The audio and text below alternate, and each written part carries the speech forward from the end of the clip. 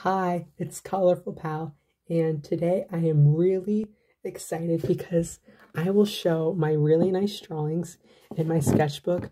I decorated the front with FaZe Rug, and inside I have this portrait of this guy with very long eyebrows and wild hair. I also like the little mustache. I think it's a nice detail. And the next page is Chloa, clown from Iowa. And I really like her orange hair and like the sleeves are like see-through and the boots are really cool and I like the skirt. And these balloons are really cute. They have um, band-aids on them. This is my favorite so far, and I'm glad I can come up with unique characters like this from my imagination.